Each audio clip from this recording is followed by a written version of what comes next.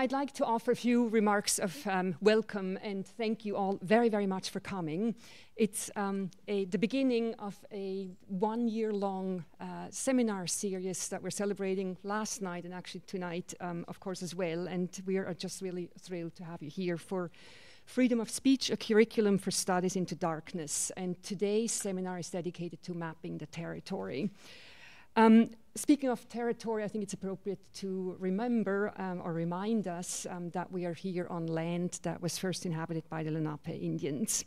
I'd like to thank you again for coming, and I'd also like to acknowledge Laura Raicovich, who is the co-curator of this seminar series.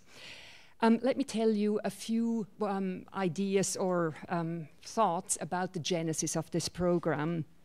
Some of it, I'm sure, would be absolutely obvious to you. For instance, the topic that, of course, we would want to engage um, on a issue such as freedom of speech, given this um, the climate of assaults on civil liberties in this country and elsewhere.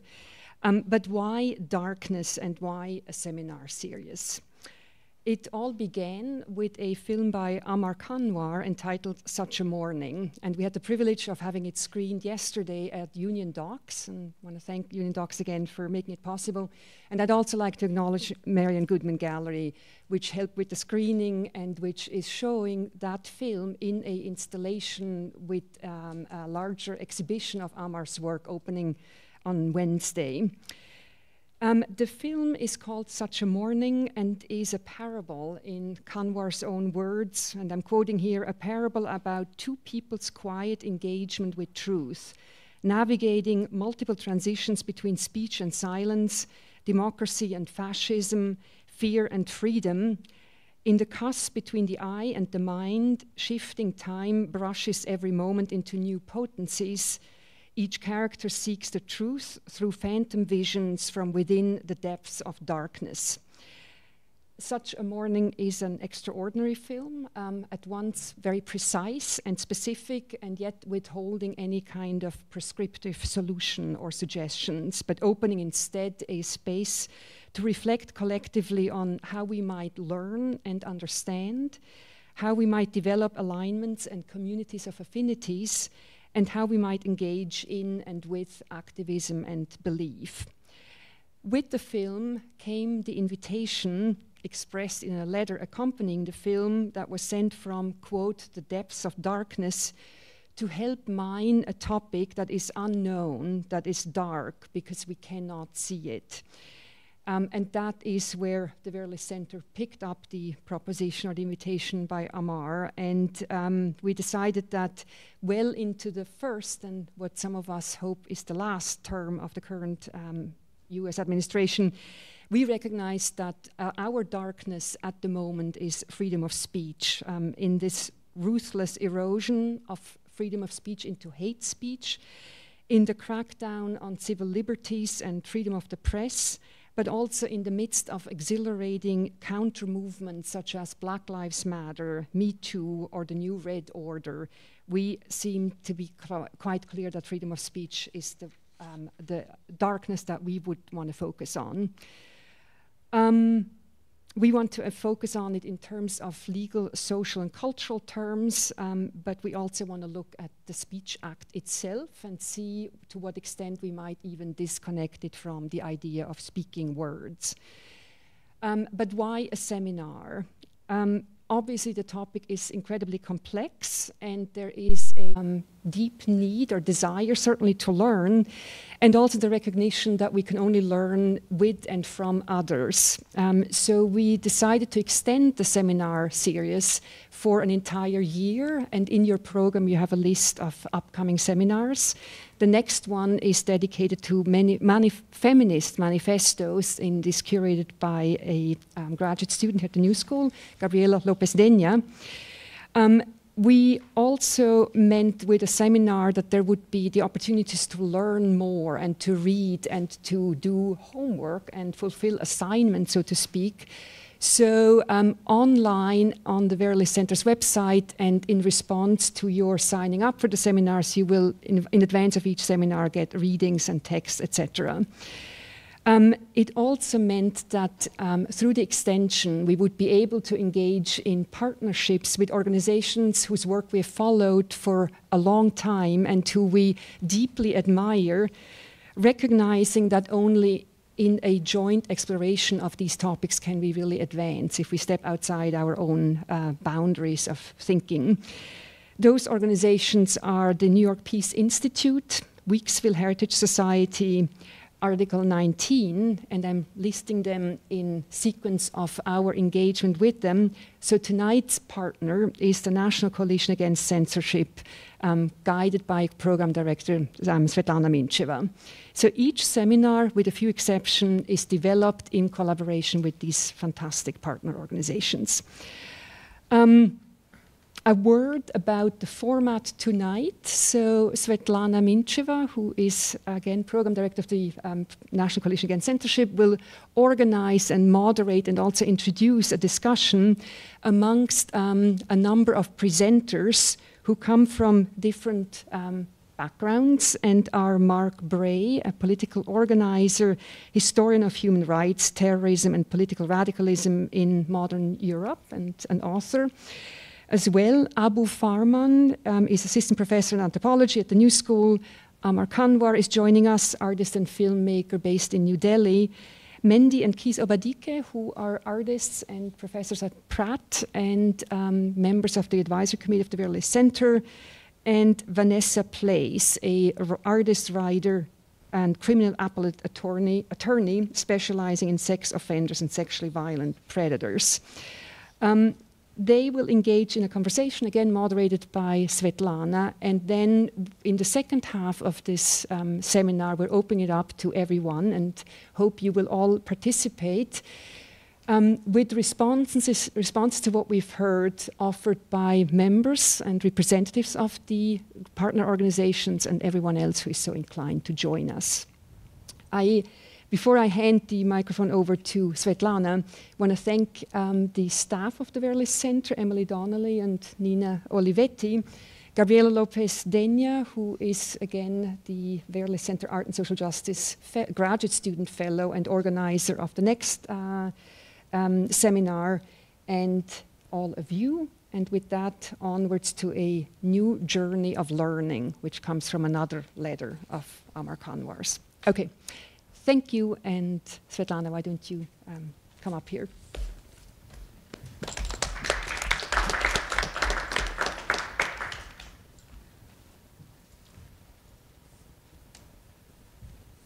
Hi, thank you. Thank you, Carin, um, and the Vera List Center, and uh, Laura Raicovich and Gabby for organizing this very timely and necessary conversation and inviting the National Coalition Against Censorship to partner in it the subject of free speech today, I think, is kind of like less than darkness is suffering from overexposure.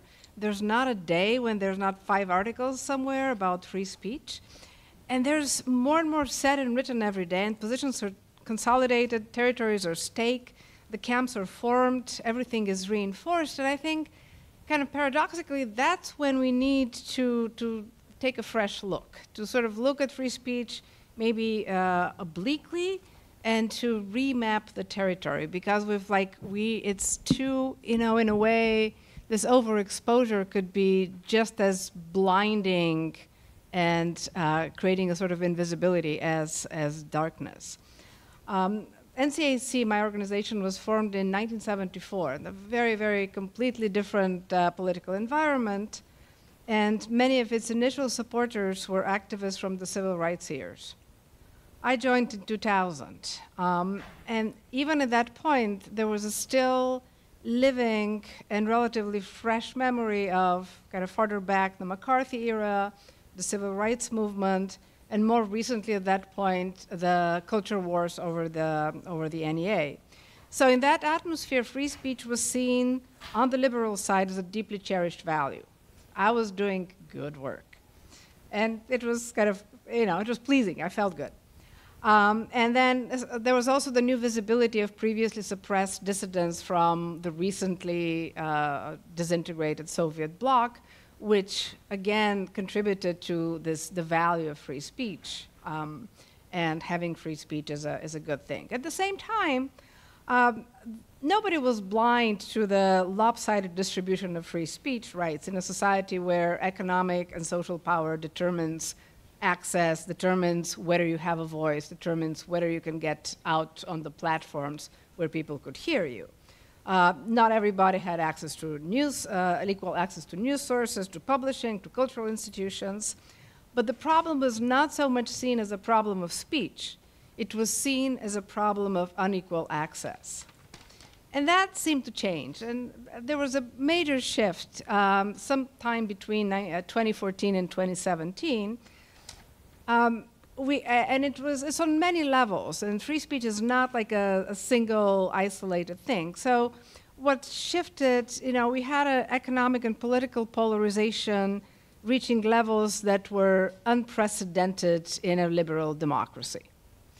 Uh, then the utopian promise of the internet to give everybody access to a platform crashed and morphed into something very sinister. And we can talk about that for a long time.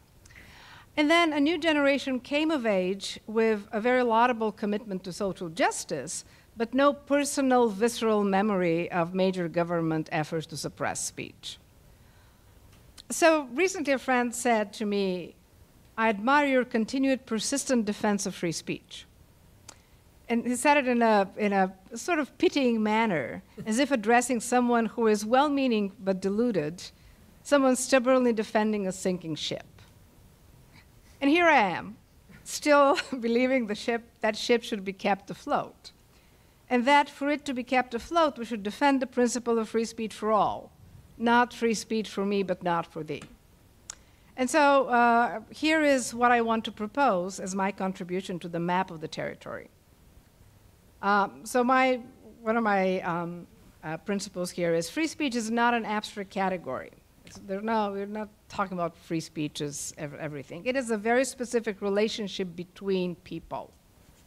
There's no such thing as a literally free speech. There are always constraints of language, of social codes, of protocols of engagement. Totally unconstrained speech may be something like a primal scream, but I don't even know that that is speech. So when we talk about free speech, we're talking about something very different and very specific a relationship between people within a particular structure of governance.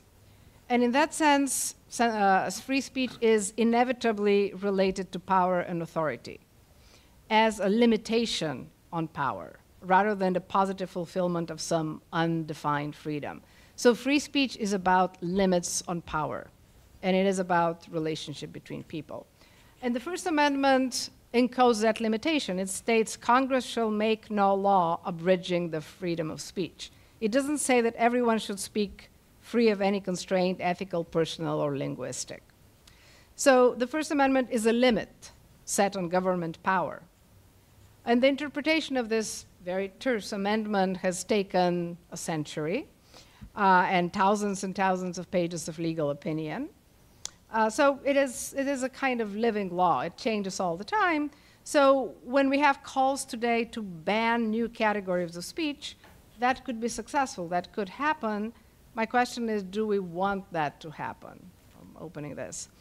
Um, and then another thing to consider is that today, First Amendment protections don't really matter that much because power over information is de facto held by private companies.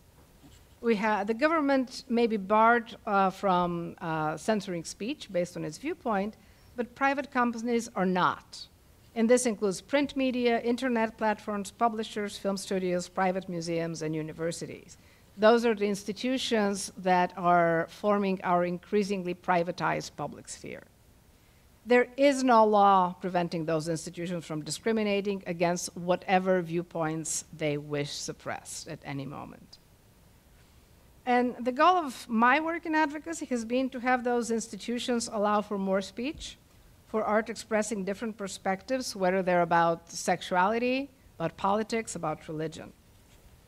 So when such efforts come from the religious right, I find plenty of support and admiration among my friends when the Smithsonian a few years back deplatformed David Wojnarowicz's Fire in My Belly, It reminded everyone of uh, Rudy Giuliani's efforts to deplatform Chris Ofili from the Brooklyn Museum, and the art world rose up in arms unanimously. But recent demands to deplatform and blacklist speech and speakers directed at those institutions have split traditional allies apart. And that applies to the Whitney, to the Guggenheim, to um, the ICA Boston with the Dana Schutz shows, and so on.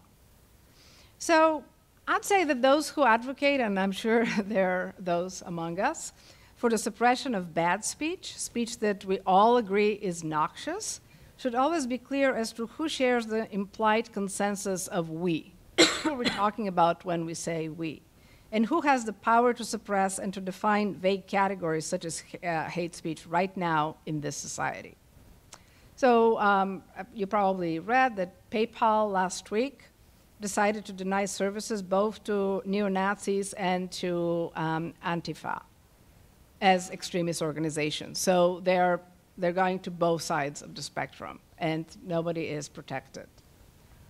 So surely speech can have effects. It could hurt feelings. It, it can inspire hatred or revolutionary fervor. It could subvert, uh, it could uh, subvert support for law enforcement, remind of past traumas, or question the status quo. If it didn't, it didn't need protection. Which is why we can read books criticizing religious dogmas, uh, we can uh, read books advocating armed rebellion or changing property rights. So, over half a century, last century, the Supreme Court shifted its criterion as to whether speech need to be suppressed, if um, uh, from uh, from uh, judging speech by its bad tendency to advocate for bad behavior or um, illegal things, Two, whether it presents an incite incitement to immediate lawless action. And that was a major shift. So, speech that might have a bad tendency to, um, to provoke people to think in a particular bad way, that was protected. And under the bad tendency text, uh, criterion and, and test, the people who went to jail were communists, anti war protesters, people that would, would probably find sympathetic. Um, so, opposing the principle of free speech, which is a limitation on power, necessarily constitutes a demand for more authority and more power.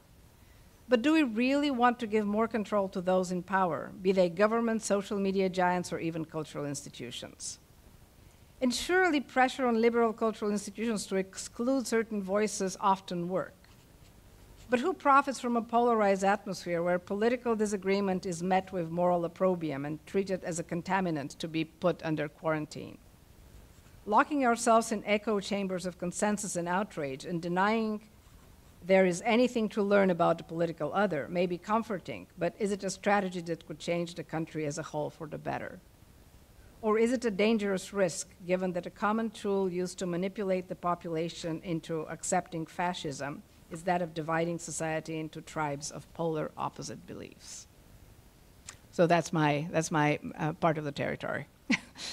um, so we'll proceed by, uh, we'll, we'll um, invite our other um, main participants to speak for five minutes each, and then we'll proceed to a discussion.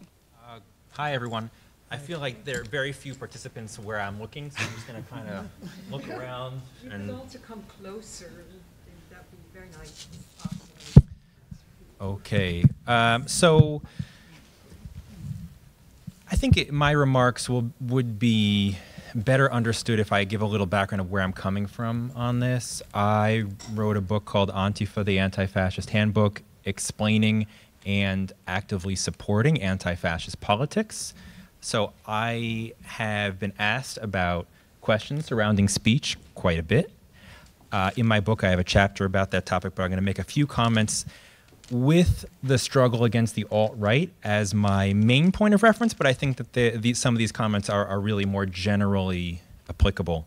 So uh, I, am going to echo a, a, lot of what Svetlana said that the, the conversation around speech is often had without a lot of the most important underlying assumptions uh, being addressed. So there's this assumption that in the United States we have pristine freedom of speech and that any kind of media spectacle of an artist being censored or a speaker being shut down is destroying sort of this otherwise pristine landscape. But it's important to recognize that one, free speech absolutism is impossible.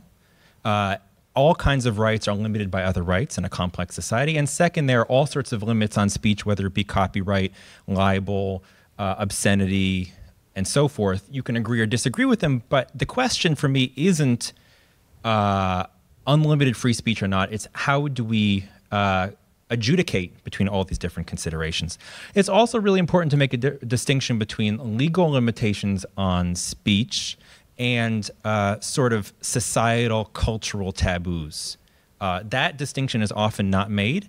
And so there are times when political movements are making arguments about uh, what they would argue are, for example, white supremacist or patriarchal speakers or groups that don't always involve arguing that the state should ban this group or that kind of speech. So that's important.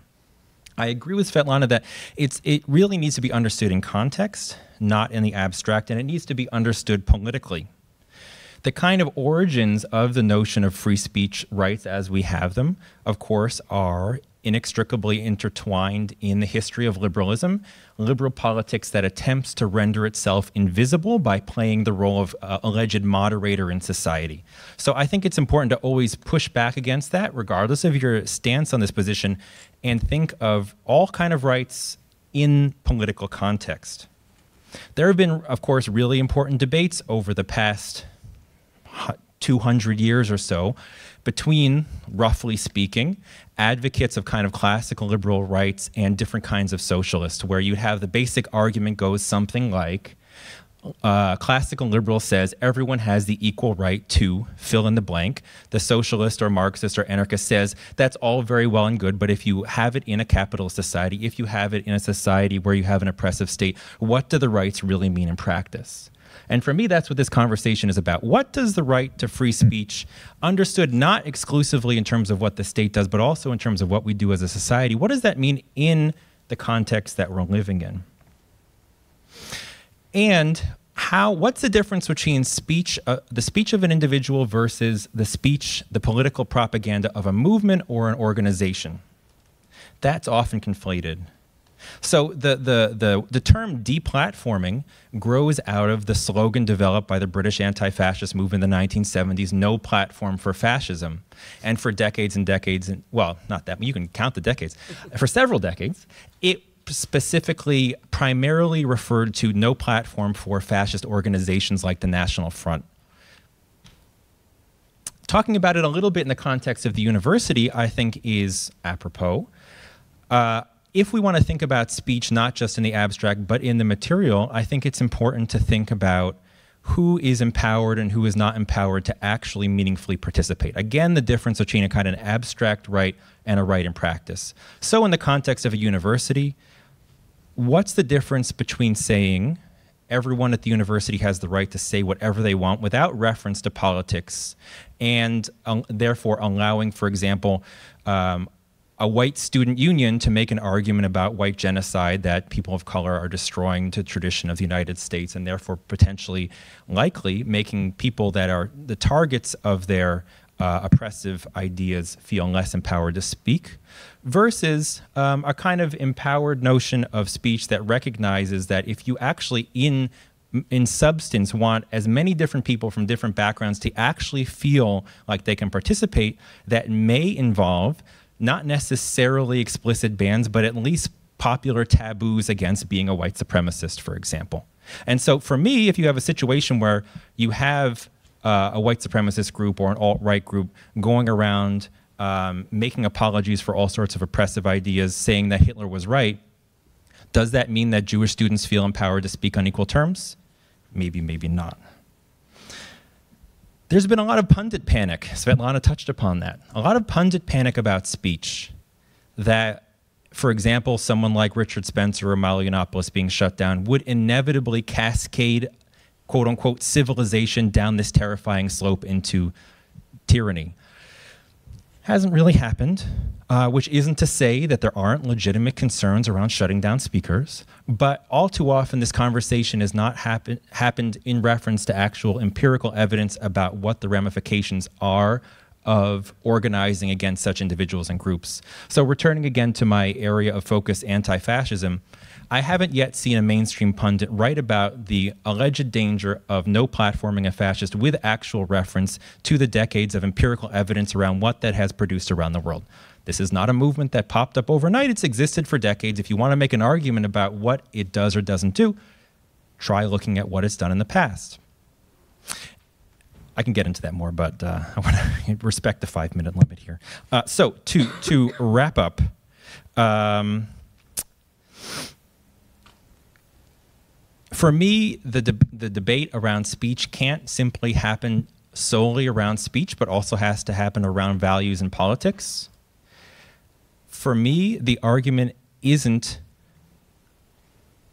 whether or not a given group or individual ought to be accepted by society for what they present in the abstract as uh, just about speech, but also about what are the actual tangible ramifications of having an alt right group or equivalent group in your community or in your society. And given the recent shootings and bombings and stabbings, this has very real ramifications that can't be ignored. Uh, it's not just about abstract rights.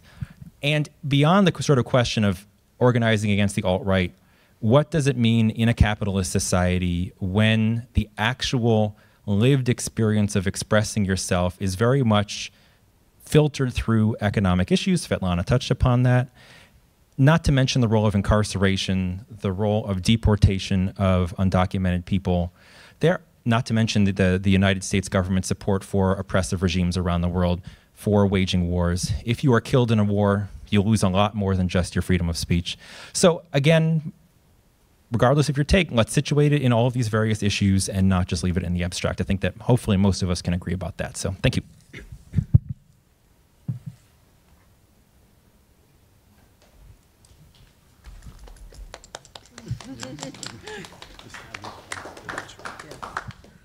Hi, so I'm, I'm Keith. I'm Mendi. Um, we'll talk a little bit about how these ideas relate to our projects. We uh, are artists and we collaborate together. Um, yeah, so we, we have, we've chosen five points of entry for, for, for us, um, and they all center around something that has to do with our work, and they, um, the touch points for us are also about both the rights of the hearer and um, freedom of speech as control of data? Uh, so recently, uh, President Trump has been in the news for attacking journalists, and specifically over the last week, people have been talking about his attacks on uh, black women journalists. And this made us think about uh, Ida B. Wells Barnett, uh, the journalist who was working at the turn of the uh, last century, late 19th century, early 20th century. Um, and in 1895, she put out a book called The Red Record. And we used that book uh, for a project maybe about three years ago uh, called Number Station, the Red Record, uh, where we sonified data from Ida B. Wells' book. Um, so Wells was a journalist and an activist who founded and ran her own newspaper uh, in Memphis, Tennessee. And the book, The Red Record, was a kind of staggering document of American violence. It was lynching statistics. Uh, and she pulled those statistics from from police records uh, and from newspapers. Uh, and, and so, as we were working with the book, we wondered what made Wells think that she could publish this, right? Not not you know not just why did she do it, but what made her think that she could do it. And so, we were curious about what kind of conversations were happening around free speech, specifically uh, with African Americans in the late 19th century. Um, so here's one point free speech concerns used to be very localized and regional. Uh, roughly 30 years earlier um, than, than Wells was dealing with this um, data mining project, um, a group of abolitionists meeting in Boston were attacked by a racist mob. And Frederick Douglass went to the site of the attack and made appeals for free speech based on the notion that Boston should see itself differently from the slaveholding South. Um, it's hard to know whether Douglass actually believed that Boston had a different political climate or not, but that was the argument he made to the citizens of Boston. Uh, our next point is that uh, data control is a free speech issue. Um,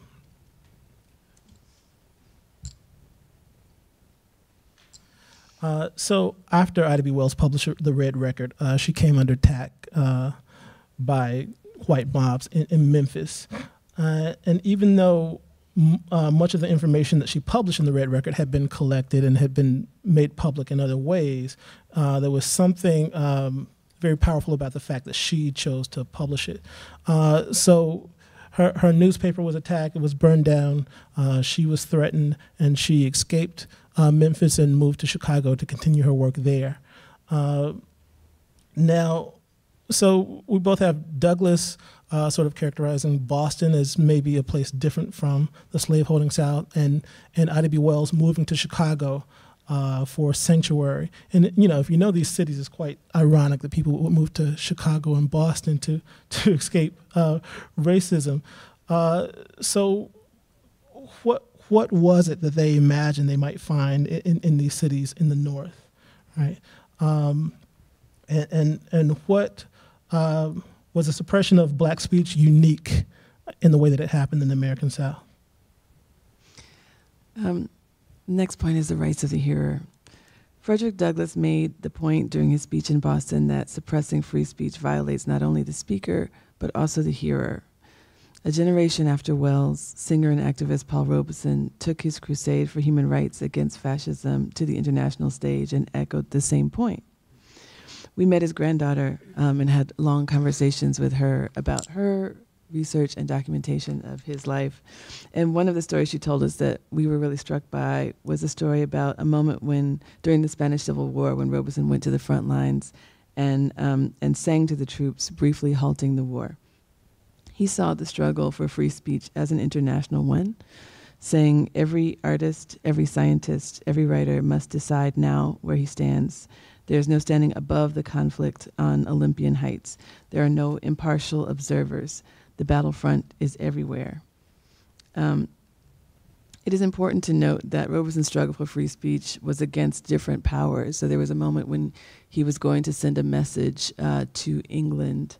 Um, and um, there were different people who, who organized against him. The Nazis um, wanted to jam the signal, and, and some in England and the US were also against um, him him um, making the the message from Russia, and so uh, he was really outraged that this this um, suppression was coming from very different um, political uh, stances. After Robeson was brought before HUAC, uh, his passport was seized and his voice was largely silenced. The obvious point was not just to limit Robeson's speech, but also to limit an international audience access to him.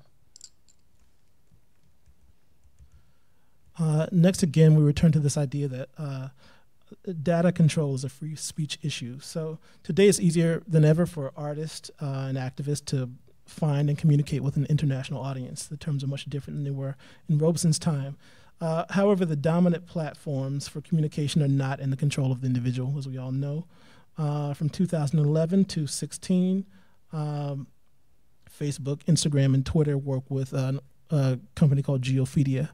Uh, gave information to the police about activists so that uh, activists could be located in real time as they, as they posted to uh, social media. Uh, now, once this was made public uh, by the ACLU and other organizations, uh, around 2017, the, the, dominant social media platforms sort of dumped Geofeedia. but, but the the conflict here is not just that uh, people are being monitored on social media platforms, but also these very platforms uh, are seeking to engage activists, right? So, so they're going to organizations like Black Lives Matter uh, and saying, please use our platform, and then offering uh, that data uh, to the police. Mm-hmm. Um, and then our last point, we're thinking about the right to vote as a free speech issue. Um, as we all know last week the U.S. held midterm elections, and control of data is one of the issues that has emerged across the races. Um, but we're thinking about it particularly in relation to the governor's race in Georgia. Um, I've been volunteering on Stacey Abrams' campaign, both because I'm very interested in her issues and strategies, but also we've known her for quite a long time. And she's been committed to not only those issues, but also voting rights issues um, for the last 30 years. Um, according to Abrams' opponent, who up until a few days ago was also the election official in charge of the race, um, he has won the race. Uh, Georgia voters have spoken, he said. It's time for Abrams to listen and concede immediately. Um, but Abrams has refused to concede the race on the grounds that we not only um, know that there, there are more votes coming out, but these votes are for, a lot of them are for her, but even the ones that we don't know yet, um, every day there are more votes um, that are uncounted coming from precincts that have reported that all votes are in and accounted for. And so it's not just that they're not voted, that they're, they're not counted, but that they were previously not known to exist. Um, and so um, I have more to say on that, but, but what I will um, share is that um, Lauren Groh-Wargo, the campaign manager, says that voter suppression looks a lot of different ways. And one of the ways that it looks like is a database error.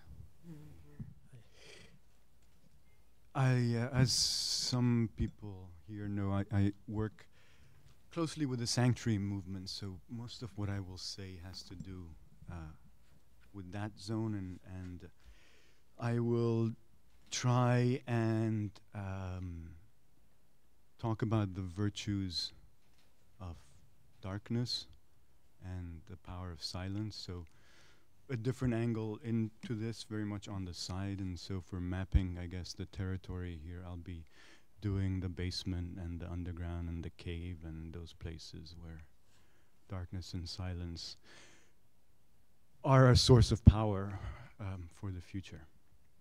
Um, and I'll start by saying that, you know, one of the things uh, that is assumed by uh, anything to do with free speech is a kind of a public realm uh, for which an appearance is required.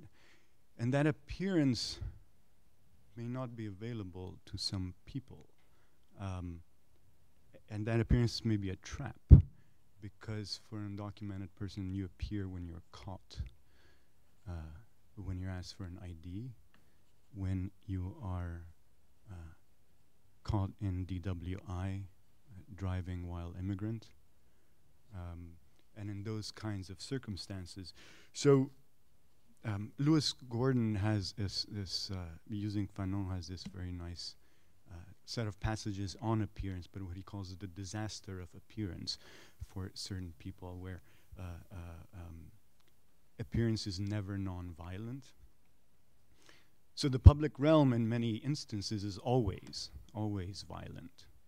Um, um, for you know, for black, for racialized, for undocumented trans indigenous bodies, um, that's often the case, and that's the, that's the that's the trap because uh, uh, appearance is not just a disaster; it's also impossible in a way because you're always interpolated, uh, not as a subject but as a suspect, um, as abject, as alien, as outsider, as foreigner, as illegal, as criminal, etc., etc., etc. Right? So uh, uh, clearly you are not appearing, a category is. Um, and so, in that sense, I think those places of hiding where we keep away from that sort of interpolation uh, is actually necessary and good. And it reminds me of a passage that Hannah Arendt has, um, weirdly, in, a, in, a, in an essay, um, well known essay on education, but where she talks about the fact that all living beings, it talks about the security um, of being uh, hidden from the world, uh, and and the fact that every living being, although uh, uh, always needing to move towards the light and grow in the light, also comes out of the darkness to begin with, and always needs the security of darkness to continue growing. And so I think I want to appeal to that darkness. Uh, I think partly uh, Amar's film was also a place where darkness actually uh, was yielding something, where you had to retreat in order to return. Right? Um, so, so in the you know in the sanctuary movement, um, we do. Uh, we have two two places of silence, in fact, that are power. Uh, one is that we tell people, allies, white allies, who come to accompany uh, folks to official encounters with, say, an ICE uh, at, at, an ICE check-in with an ICE officer, or uh, in the courts um, with judges, or at hospitals, anywhere where there's that danger of being interpolated. Uh, we ask citizens to accompany as a as a kind of shelter, as a kind of of security, and um, uh, the instruction that they receive in doing that work is to shut up, is not to speak, because if they speak, if they exercise in rage, the freedom of speech that is their entitlement, but not the entitlement of those that are accompanying, they put in danger not themselves, but the vulnerable people they are with. Right? So in that case, it is important for them to not say anything, even at that point where they are seeing something that needs to be said, uh, to be spoken out, to be pointed out. Right? So that's one, one instance, and I think we can uh, theorize more out of that. The other one is um, uh, it's right here. I don't know who printed these, but thank you. It's, it's wonderful. Everybody should pick some of this up. Um, but it's, it's the, the, the card, the Know Your Rights card that we carry. The first thing is that uh, I'm choosing to exercise my right to say nothing, to be silent, uh, because uh, right because th that's the Miranda right and so on and so forth, and maybe it, it's too much has been made of it, but that right to remain silent um, is crucial in those situations because not only what you say may be used against you, but the situation is set up so that anything you say will be used against you. Uh, with ICE, there's always that uh, attempt to get you to do things so that you can deport yourself.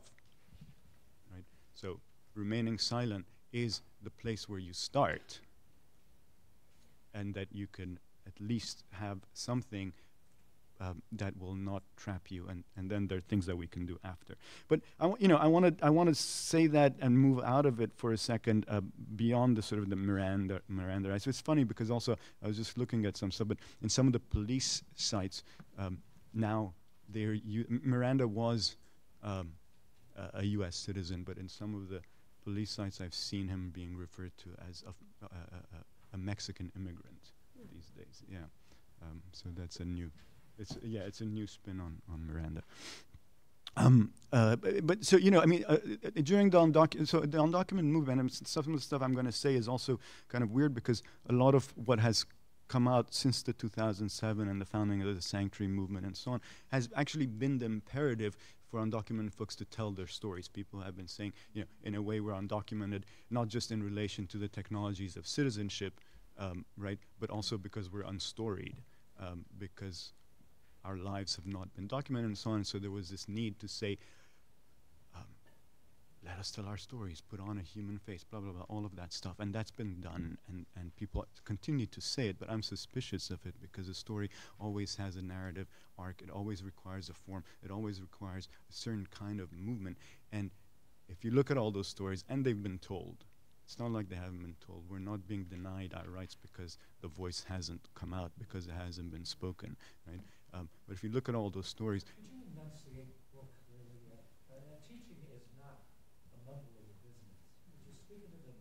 I, I'm, I'm, I'm speaking as best as I can, sir. I will do what I can, and if you can't hear it, I'm very, very sorry. I hope that you will understand what I'm saying in deeper ways than that. Thank you. um, I should have exercised my right to silence right there.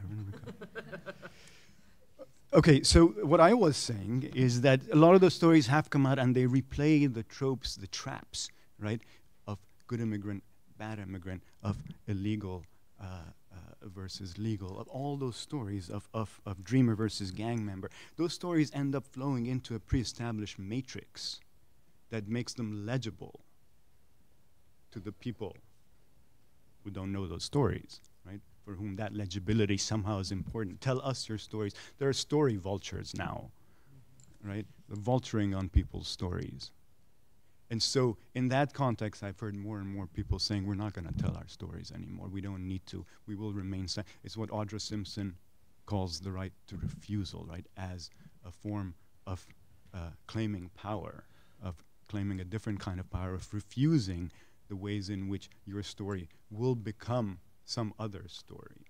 Right? Your voice is no longer a voice that goes through a voice box and turns into some other set of voices. So I guess I'll, I'll leave it uh, a little bit at, at, at, that, and we can continue. But um, you know, I think there's there's ways in which, the, for me, the sanctuary movement has taught me that that some, you know, not that you always want to claim the silence or always want to claim uh, uh, the speech, but that that they're they're constantly working together, and uh, we shouldn't lose sight of that. And and somewhere between the silence uh, and the speech, between the law and somewhere beyond the law, um, um, you know, we can have a maybe a collective cry uh, as opposed to silence or speech.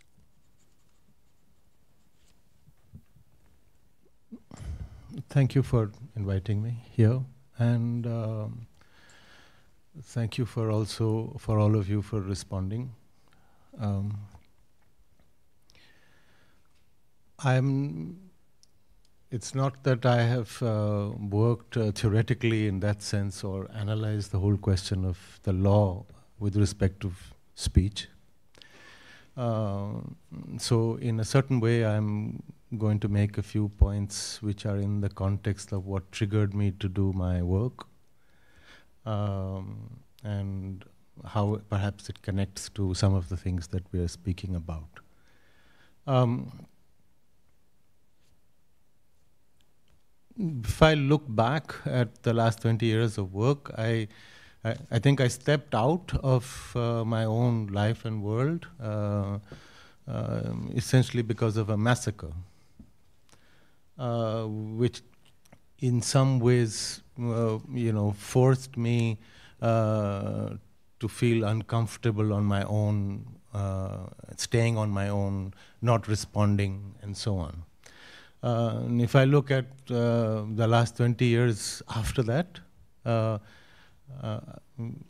which I don't often look at, but if I were to look at, then I see that I have probably moved from one site of massacre to another site of massacre over and over again in different areas, uh, responding, speaking, uh, trying to understand, uh, trying to speak to other people to help them understand, uh, and so on.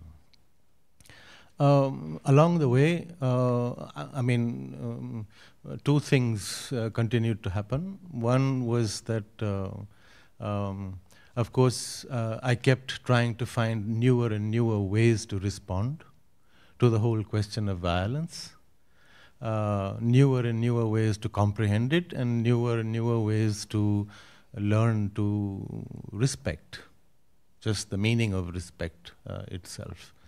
Um, but the other thing that happened um, to me as well was that um, uh, I think at every site or every inc- incident or every individual uh, that I went uh, to and along and by and so on, uh, I was also acutely aware that uh, there was a lot that I left behind. There was a lot that I, uh, it's not that I only encountered uh, what happened. I'm saying this in the context of the fact that we are speaking for justice, or I'm responding in the in the paradigm of seeking justice. But uh, I did feel that there was a vast territory at every site that uh, I could not comprehend fully. I could not tell it fully, uh, or a certain right of silence had been uh, kept or that I was I understood but I was not supposed to say it, or I understood but I did not know how to say it. And so, if you put this together over 20 years, then I feel that even though I have worked and spoken for so many years, at the same time, I have like a huge basket full of knowing that there is a lot that I, a lot of silence. So, at every site, one spoke, but silence also continued, and each silence was of a different kind and a different meaning and a different intensity, and it just carried on and accumulated and accumulated. Uh, I'm not making an argument here. I'm going to move from a few different points because we have just a few minutes. Uh, and I'm jumping a few points to give a context to where I'm coming from. Um, the another thing that um, struck me over the years uh, was that um, of uh, I don't know what the right word for it is, but perhaps I would say is unshakable prejudice. I've dealt with unshakable prejudice with anger, with uh, persuasion, with love, with affection, with persistence, uh, over and over again for years. Uh, with not just the bad guys, but even with near and dear and loved ones as well. And um, it brings me to a certain point where I feel the need that I need to figure this. Maybe I'm not figuring it out. Uh, over the last five, ten years, having been associated with many different kinds of struggles, whether it's on the question of ecology or civil rights or uh, you know various community rights, religious issues, and so on. Um, and, and, we are all witnessing what has been happening in the last several years. I began to wonder something that you said that um, uh, of uh, in the context of the sinking ship. Uh, um, so I began to wonder that if the ship is sinking, then uh, maybe I need to find where the hole is. So I should plug the hole. And so I started to plug the holes. And it still kept sinking. So then I thought that um, that's something fishy about it because how if I've plugged all the holes, why is it sinking? And then I wondered that perhaps I was plugging the holes of the wrong ship. Maybe I was, so in a sense, that made me wonder that maybe there is something that I'm not seeing.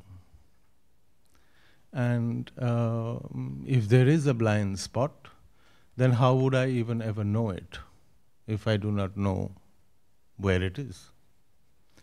Um, so, which uh, led me uh, to uh, perhaps come to a conclusion, for at least temporarily for myself, was that uh, I felt that I had argued long enough and that uh, I would like to see as to what is the kind of conversation, what is the na- what nature of conversation would could perhaps be possible at the end of all arguments. Is there a conversation? And with whom could that conversation be? And what kind of conversation would it be? Where could I place myself to be able to be in the best position possible to even answer these questions that I just raised, again for myself? Uh, which is why I came to the, to the film, to the question of stepping back, to the need to enter into uh, the heart of darkness, supposedly to a, into a territory where you cannot see anything. And that to see that if I were to enter into the heart of darkness, into a space of non vision, then what would I see? And what would that vision be? Um, I jump ahead and, and to, to put this in some context, and I have to do this briefly because we are moving, um, that uh, this was also compelled uh, by a desire to uh, find a way to reconfigure. Um, and um, there is no doubt that, um, again, when we look around, that the desire for violence is uh, is not it has not disappeared. Um, uh, there, so, does the desire for violence only e exist outside, or does it exist inside? Do I need to deal with it as well, and so on and so forth? So, um, I, I, felt that um, uh, this the context of this was that I felt the need to uh, find a way and a method to reconstitute, reconfigure, uh, rearticulate, uh, uh, maybe come down temporarily to a zero position and start again to see. Uh, obviously, this cannot be done alone entirely, but it must per- perhaps be begun alone for a while, was another thing that uh, I felt. Lastly, uh, I've, uh, and I'm jumping to another issue, uh, connected a little bit to what you said with reference to data. And of course, in the context of data manipulation and data uh, which is something that we have been seeing in India and elsewhere and all over. Um, uh, at one time, they would capture the booth completely, and you know you wouldn't even know that the booth, the voting booth, had been taken over. Uh, or you would uh, capture it and have somebody else uh, stamp, uh, you know, 10,000, 20,000 votes. Now it's simpler methodology to, to, to do that. However, um, the date, the question of data error that just I would like to flag again uh, is that I felt, uh, and this is my last point, uh, I just I felt that um, very often, say within even within say political struggles or within the right people or the liberal people or the uh, uh, uh, leave alone the, the so-called baddies that one is fighting against. Even within our own community, I would find quite often uh, very disturbed people, very angry people. I would find arrogant people. I would find complicated people. Um, you refer to vultures of various kinds. And so again, was I a vulture? Was you? Are you a vulture? Are you nice today and are you different tomorrow? Uh, or you? I mean, I don't mean like that, but so I mean, I felt that I needed to bring that out. All, all uh, uh, and and yeah, yeah, it's true. So who is the carcass as well? So we, I needed to do that, and um, that triggered me that yes, perhaps in my street where I live, if I look around, I see a spectrum of fairly weird, complicated, difficult neurosis that we all live with individually. And sometimes we are very, you know, even even in my own family, somebody could be horrible and remarkably compassionate at the same time. And we can deal with this at a street level, maybe. But if we are dealing and have access to this kind of neurosis, maybe, maybe I'm using the wrong word, but uh, maybe the inner inner self, maybe a better word. If we are, have access to this inner self, 24/7, uh, worldwide coming into you, into our pockets, into our hands regularly, continuously for one year, two years, three years, five years, then again we are in a terrain that is completely new. And how can we deal with this kind of terrain? And I'm saying this in the context of censorship, in the context of manipulation, in the context of political struggle. Uh, how do you assess? Uh, anymore. Not just what you're receiving, but what it's doing to you, and what does it do to you if you have access of this scale uh, round the clock. Uh, and again, it's uh, mm, uh, uh, um, we need to find a way to, to, to respond to it, to respond not just to censorship, but to respond even to the crisis of speech, of articulation, and what it is doing to us and to our inner selves. Thank you.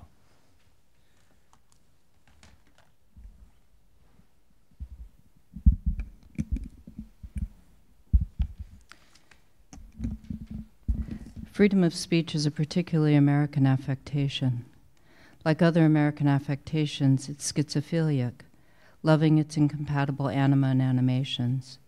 Springing from the self same well, the raison d'etre of liberty i.e., that freedom of speech is necessary for freedom itself, and freedom itself necessary for democracy, and democracy necessary for the American.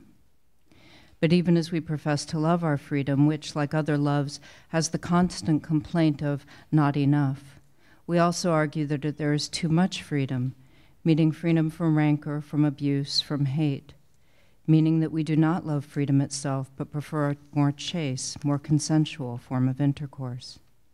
Something enlightening or at least attractive, something strictly speaking productive, something loosely speaking beneficial. Babies are supposed to be cute, or at least innocent. So we try to divide the offspring of our freedom into welcome and unwanted children, good speech and bad speech, meaning what we call hate, meaning that which we find ugly. Hate speech is not what is hurtful, but what is hateful. Sometimes it is hate filled, that calumny that's the most obvious kind, the kind that makes friends and followers furious and predates automatic weaponry in the hands of civilians. Sometimes it is only the news, the announcement of another boatload of migrants going belly up, which now seems merely reportage. Or the promise that I can freeze off my belly fat fairly safely, and probably should. But just as there is no point in my legislating the attractiveness of flensing my flesh or the relative cuteness of your baby, who, after all, may be ugly to the degree that it looks just like you and your family, too, there's no purchase in my deeming this speech proper or another speech unprofitable. Like bullets on a schoolhouse floor, it's all just evidence. And, of course, ammunition. As a criminal lawyer and arguably a criminal artist, I would like to advocate not for free speech or sp- speech that pays off or out, but for criminal speech. Speech that is illicit because it is unlawful, because the law is just evidence, just the regulation of language that regulates the law. Or, to quote Sade, who knew something about law and language, only that which is really criminal which rejects the law. Sade naturally wanted to violate the law for the sake of its violation, which is piquant but beside the point.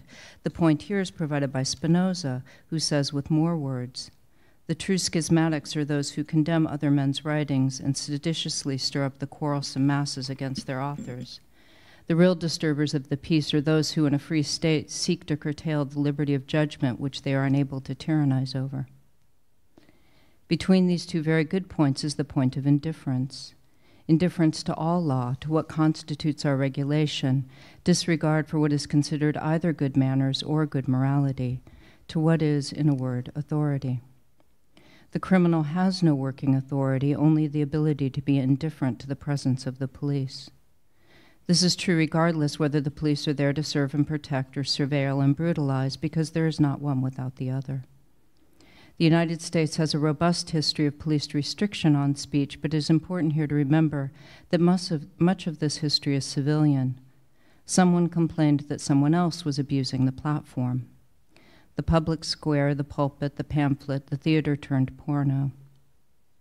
Today, of course, that platform is often what we casually call social, which is an important distinction both legally and socially, for there are no civil liberties on private property. And if our largest platforms are all private, all social, then there is no place to speak that is protected when that speech is purposefully antisocial, criminal. Spinoza notes that the supplication to authority is always directed towards the law and towards the applauding multitude, which in a democracy functions as the authority. In the contemporary, the applause, like the multitude, is virtual and viral. Its execution before its trial, because the platform is the chopping block. Take away my platform, and you take away my speech. This is a good analogy because the tradition of the last words of the condemned began as a public plea made before the guillotine. And if the call was moving enough as a protestation of innocence or genuine repentance, the crowd would be duly moved and the life spared.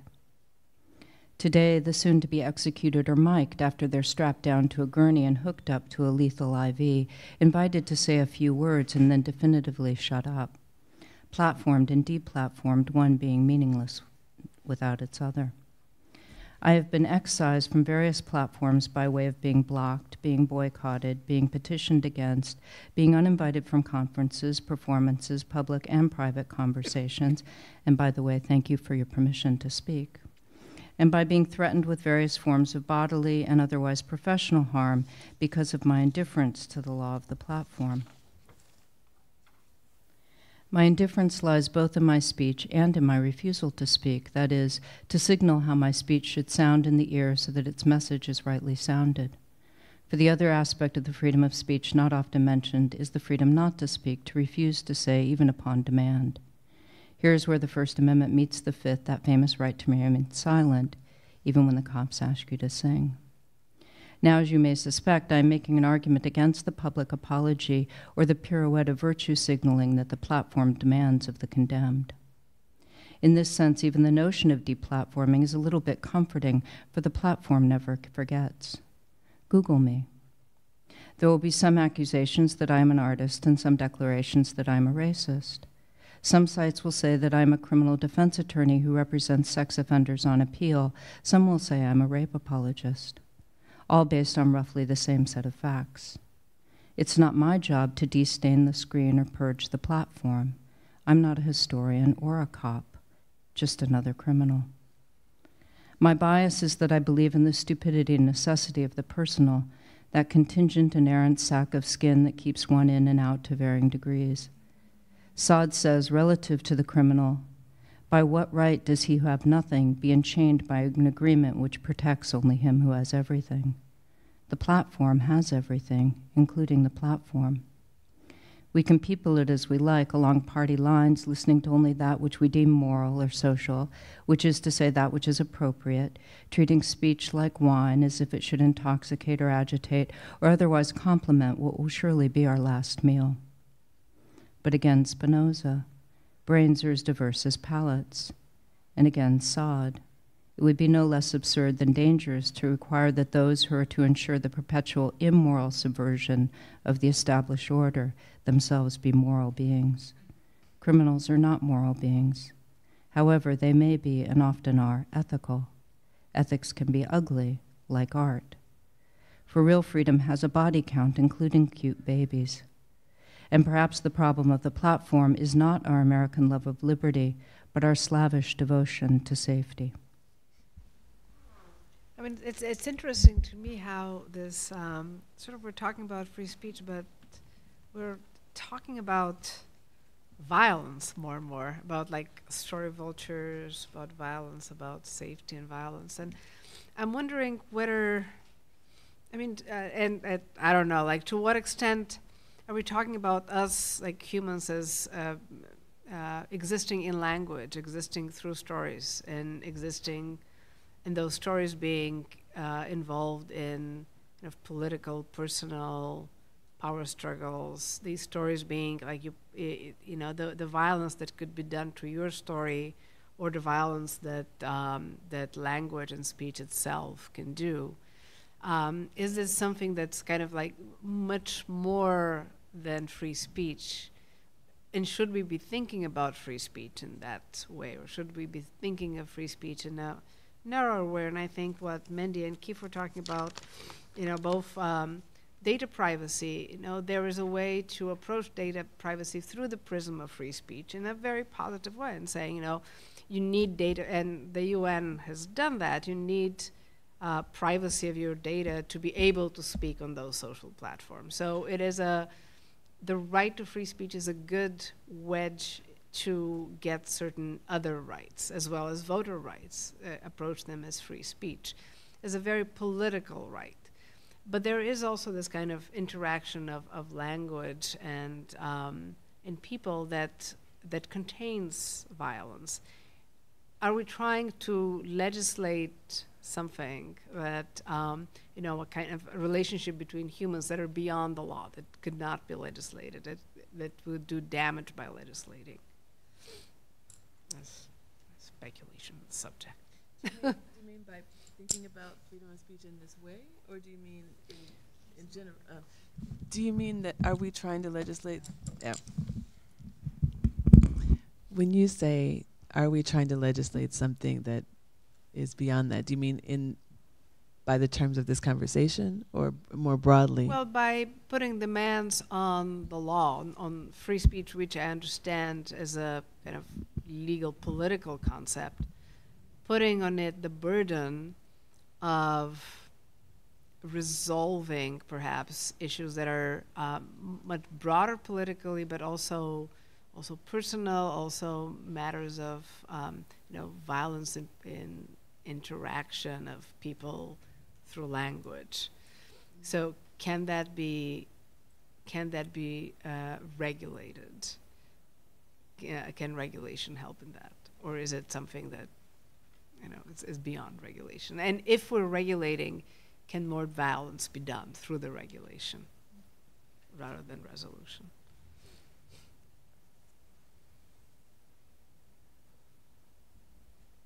Not, it's not a question, it's a speculation. Well, one thing that occurred to me, a couple of things. One was when you were saying that, that phenomenon that I saw on social media of somebody would see an incident of and put it up on, film it, put it up on social media, call for the person to be fired, call for the person to be, have the community turn against them. And then taking your initial remarks, the other thing I kept thinking of is it seems like with this notion of regulation and calling upon, it's like a version of calling a different kind of cop, only the community is the cop. And so, are we getting to this point where actually what it is is we just want medium speech?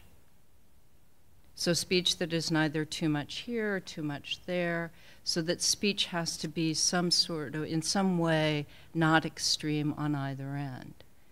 So, it's like antidepressant, you know, it's like Prozac speech. There's this idea we should just clip the ends and exist in this kind of middle ground where nothing bad can happen.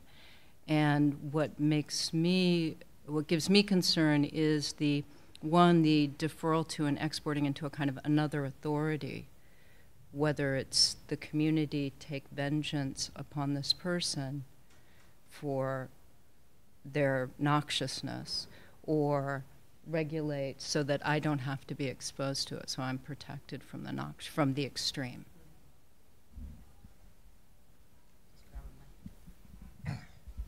Uh, I think that's an important question. But um, when we talk about cops, I do think we should also bear in mind the literal meaning. And there's an important distinction between, of course, a cop who can put someone in a cage and taboo, which in a certain metaphorical sense can shut people up and play a cop in that sense, but doesn't necessarily put someone in a cage or physically harm them. It could, but uh, it doesn't necessarily. And so for me, uh, I'm suspicious of the notion of extremism as a thing uh, to compare someone who's extremely anti-racist to someone who's extremely racist, the, the, the horseshoe theory for me is, is, bankrupt, and I'm very suspicious of the use of it. And so for me, uh, there is always going to be social taboo against different values. There always has been, there always will be. And for me, the question is not even primarily about speech so much as it is the ongoing, never ending public contestation over what kind of society do we want what kinds of values do we accept? And for me, that doesn't necessarily have anything to do with whether we should put someone in a cage or beat them up for having those values. But nevertheless, if you see someone, for example, uh, you know, uh, berating someone in a racist way in a video, and you call their boss and say, hey, I don't think you should have this person as an employee at your law firm, to me, that's a, of a very different kind of category of public sanction, public taboo, which I I'm actually a fan of certain taboos because they're a lot more effective and if done right, if we could actually get beyond the notion of having to beat people up or cage them to enforce them, could be a way of actually getting beyond this impasse to create a society where maybe, at the very least, racist people could just shut up. Uh, which, of course, is not the way that change happens, but it is an important measure of that change. Um, so that's my take. I'm sure that some folks have a, a different opinion about that.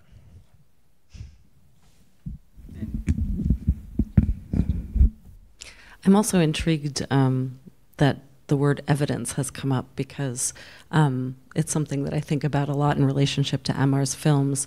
That oftentimes there are these poetics of creating evidence through the artwork, um, making doing that documentary work in order to locate evidence of crimes um, in a in a certain very specific poetic um, language. And I think there seems to be, in this conversation anyway, a kind of struggle between how we should react in relationship or how, how government and authority relates to how we behave and how we behave in a contract within and amongst people. I think that's sort of a delineation that's come up in this conversation. And I guess there are two things that I'm thinking about. One is, um, and perhaps this relates um, in some pretty profound ways to what Abou was saying earlier around sanctuary, is that in some cases, having this conversation, even just within this group of people, is a withdrawal from the larger public, even though we're framing it as a public seminar. And you know, in a way, one of the most profound things that came up last night, I think, in the conversation specifically about Amar's film was whether or not we're even speaking in the right register of justice. And I think that that for me was a really particularly powerful moment because we oftentimes think that we're speaking the same language around justice and what that looks like. And oftentimes it's completely a different relationship. And, you know, that's become clear to me in some conversations around notions of sanctuary because what's a safe space for me may exclude you. And what your safe location is may exclude me. And so, where do we come together then to have this conversation about how do we do we want to even create a space of justice, what does that look like? And how do we therefore interact around it? Um, I'll take the the sanctuary uh, prompt to take the mic, but not talk about sanctuary. Um,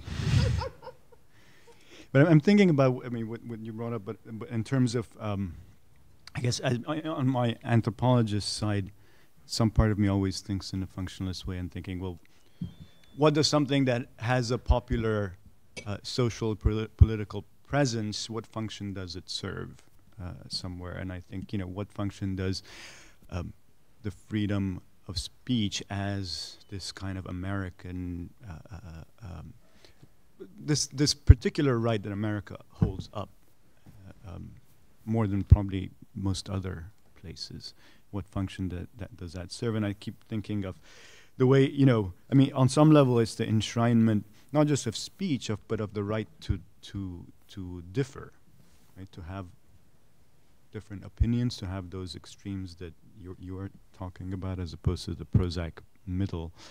Um, uh, but right, that right to differ is also coming at the expense of certain notions that we also have about justice and equality.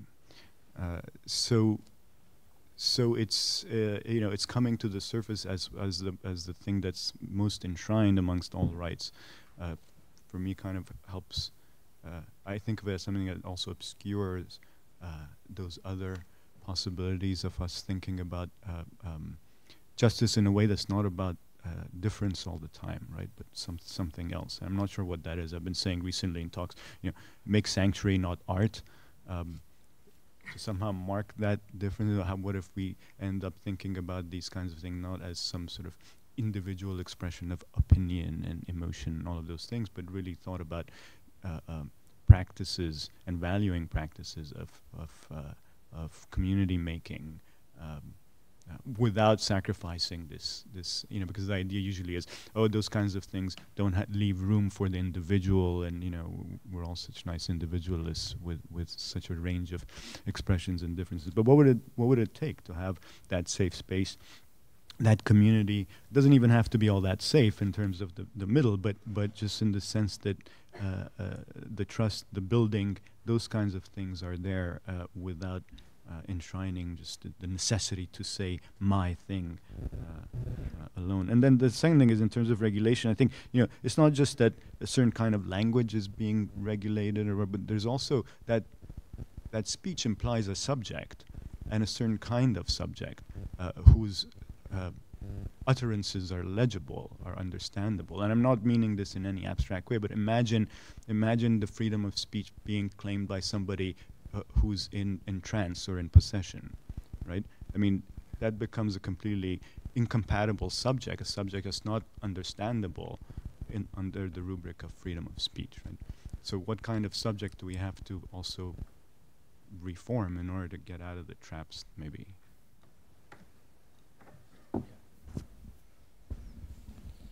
And I would just probably say that as a criminal defense attorney, I'm not interested in justice because the people I rep- justice is not necessarily a good in that sense.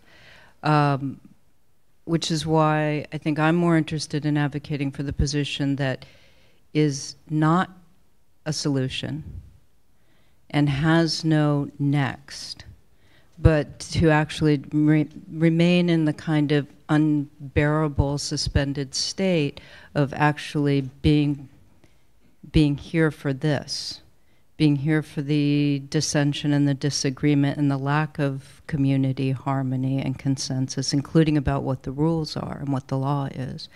So i see my position as being more against the idea of any kind of authority including the authority of good intentions or well-meaningness.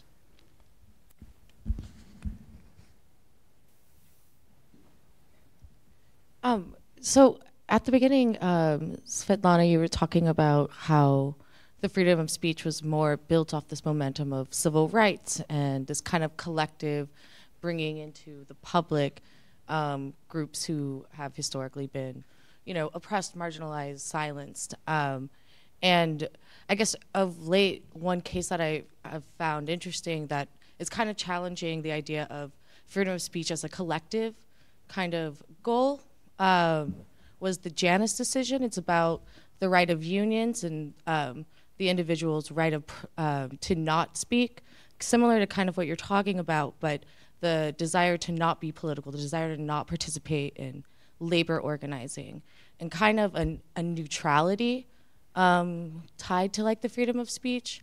And I guess to me, you know, where do we go with that complete neutrality of the hope to not say anything, you know, the desire to not move forward or back, but just to be stagnant in a way and individualistic. Um, I guess I find that kind of, to me, it was, it's a, it was a disturbing decision because it, you know, undermines a lot of um, public employees and how their ability to organize. Um, but so I guess the goal of freedom of speech is just to be silent and do nothing um, is something that's interesting with that question of like why why do we push for the freedom of speech is just to be an individual without a comment or a perspective. I mean, there is a perspective there, the perspective of being neutral or absent of a desire to organize or collectively move forward. But I guess that's kind of something I've been curious about. Mean, I think the specific decision you're referring to um, had to do with union dues mm-hmm. and union dues being used for political lobbying. Right. So the uh, the decision, uh, which I disagree profoundly with, was that um, you know if you're paying union dues and if the union is lobbying, then you're sort of you're being forced to speak in a mm-hmm. particular way. Whereas I think the defense was that the unions uh, they're also lobbying for your salary and so on. They're they're uh, serving a purpose for you. Uh, so being part of the union, uh, and they they kind of explicitly said that the, those dues are not going to be used for political lobbying. They're used for you know negotiating contracts. Uh, so I, I, I, find the you know the decision just was a blow to unions. Uh, but on the other hand, that particular part of it where you know, you're not, uh, you shouldn't be compelled to speak politically in a particular way.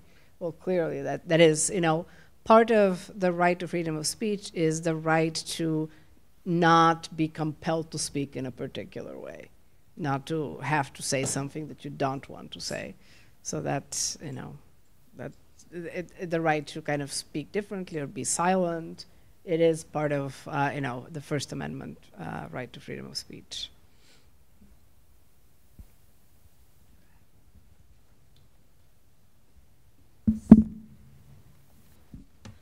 Um, excuse me. Uh, thank you very much for this really kind of fascinating conversation.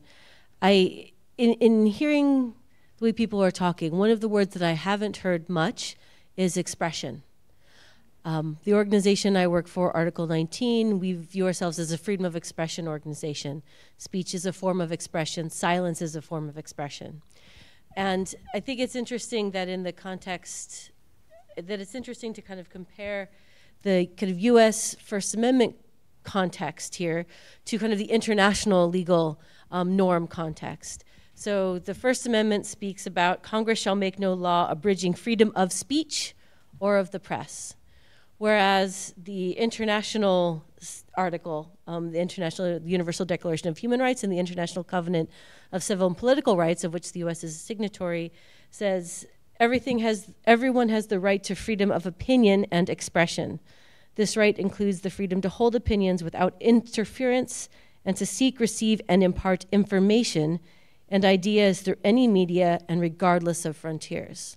So you can see how just in the space of time between when the Universal Declaration was signed after World War II and the, the beginning of the US government, that the idea that it's not just about speech, it's about expression, it's about opinion, and also closely connecting the idea of information as being inherent and essential to the rights of expression. Um, and that's one of the things that actually there is no clearly defined constitutional right in the United States to rights to information. It's kind of, you have to interpret it, you have to look at the constitutional law, you have to build it up, but there is no rights to information, right to access information, unlike 59 other countries in the world where it is an explicit constitutional right that's in those things.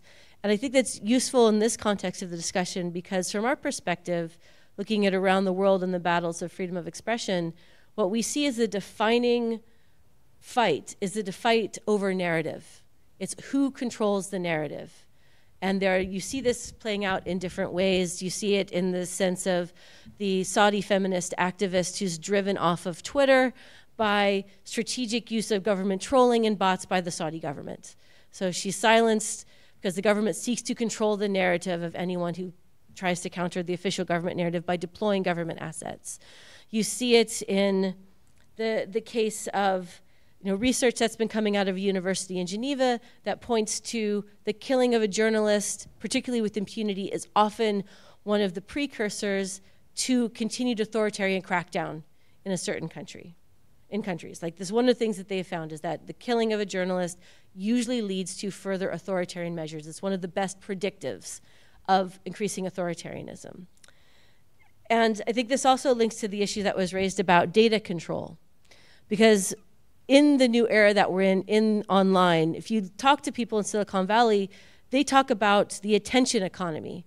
And there's a complete divorce between the idea of an idea, an idea having currency, and attention, because the currency they go for is attention. And attention is driven by the marketing imperative and is driven by the data control imperative. And that's one of the really challenging aspects that we see because, as been noted by all of you, these platforms are private. They're corporate private entities in which the profit imperative is driving the decisions that make over how we're realizing expression. And I think that is going to be, again, if we look at the control of the narrative, that's going to be one of the defining ways that the narrative will be controlled directly and completely by accident in terms of the way that the algorithms are directing us to different sources of information in the future. And so I do think it's one of the challenges that I think we need to be aware of in this community that it is going to be a defining battle, and we really need to have good solutions to that. And I don't think that we're quite there yet. Right, and I think that goes with the sort of shift in um, talking about speech. That we we used to live in a in an environment of scarce speech. You had limited news media, you had limited sources, so there were you know tighter gatekeepers uh, but it was an environment of scarce speech. So you had to get your message out in those uh, through a publisher, through news media. Now uh, there's a, this drowning out of speech. There's too much speech, and uh, I think the violence we're talking about applies to this. You know, who controls the narrative, and who is there to control your narrative, and how do you get your narrative out in a way that um, you know because we, we also have data that uh, fake news are much more clickable than real news, of course, because they're they're targeted at appealing to your desire for sensationalism, and they're also targeted to appeal to what you want to believe. So they they circulate much better, and um, you know, in the way. I mean, uh, I come from Eastern Europe, so propaganda, you know, the, the making of kitchen appliances was not very good in Eastern Europe. Uh, but the, uh, the creation of propaganda was an extremely well developed science. Uh, and now Putin is profiting from that and kind of exporting that, like, and that that is about the narrative. That is, you repeat a false narrative, you repeat it, and you insist on it, and people believe it. And we're seeing that here now on you know the, the government level. So that that is um, a challenge. It's probably not going to be resolved by more censorship, but that is, I think, the, the current challenge. Just a small thought, which is that if if we are, I mean, I agree completely with what you're saying, uh, but if we are in a realm where we are talking about uh, uh, the manipulation of the mind at this level, uh, then in that state, what is free and what is what is consent, what is agreement, what is not, who's right, who's wrong, uh, and so on. So if one has to address that, uh, would we be? I, I'm I'm not disregarding any gains uh, or saying one doesn't fight or and so on and so forth, but I'm speaking only in the context of the title, which is mapping the territory. So I'm just mapping. I'm not arguing, uh, not in that sense. But uh, I'm saying if if that is the context that we are talking about, then would we be able to legisl- legislatively address this state of mind and fix it so that it can be fair and be uh, right and be uh, not manipulated and be just and have the right value and so on and so forth. Oh, just very briefly, I mean, th there are legislative proposals and they don't go into, I mean, to me, like, okay, so the way I define free speech, for which I fight every day, is the lesser evil. It's not, I don't think free speech is like that, you know, free speech could be pretty bad speech, but censorship is, the, is worse. Um, but in terms of um, fake news and bots and so on, there are legislative proposals that are not directly targeting speech. They're about disclosure. So if you have like a bot having an, an, ad on Facebook, at least you know it's a bot. And maybe if it's a political ad, you know where it's coming from. So th there, there are ways to, and there are legislative proposals, and I think they're probably going to pass. Uh, there are ways to address those issues without blunt censorship, because that, you know, that, that for one would not work. So. I'm thinking about. Um, couple of things that have really attracted me in this conversation. I'm going to try to tie them together. One is um, the notion of the crisis of speech. Okay, that's one note. The other is um, this the the role that something that's not legislative might play in shaping um, the um, articulation of values of a community, right? So um, that um, Svetlana and Mark both brought up these in different ways in different moments, and I realized that I'm I'm really um, thinking back to an old conversation about safe spaces that um, that I would have with a group of people in college where we say there's no safe space, so let's let's think about other things. And when I've had that conversation recently, um, it's a what what I say in groups of people with whom I'm aligned politically is that rather than um, requiring a safe space and, and everybody agreeing to the same um, way of talking, I want to think about and articulate what it means for me to be a safe person to the other people in the space. Because then it's not that there are these um, rules that we have to all agree to, but that I want to think about what um, it what it requires for me to be someone that you can trust you know and and that i that i want to be that person you know? So um and then i'm not going to actually expect anything from you all. I'm going to tell you what i can give you. Um and all this boils down to to me that um that the terms of um speech among people who agree to be aligned politically will have to be, in order for it to work, will have to be um, made through dialogue. Uh, you know, and that that must always happen. I mean, it has to just keep going. It can't be settled. Um, um, and there are, you know, maybe it'll fail, right? Um, that that's a possibility. And I, I, I think, been thinking about this because I was thinking about the conversation of um, um, what happens when um, when somebody says something racist and it gets filmed, and then and something else happens. And I thought, I love that. I love when people come together and say, we don't like this and we, you know, and this is who this person is, and we're going to let you know that we don't like it. I mean, there's something about that to me that works, um, and and I didn't say that before, and I thought I should say it.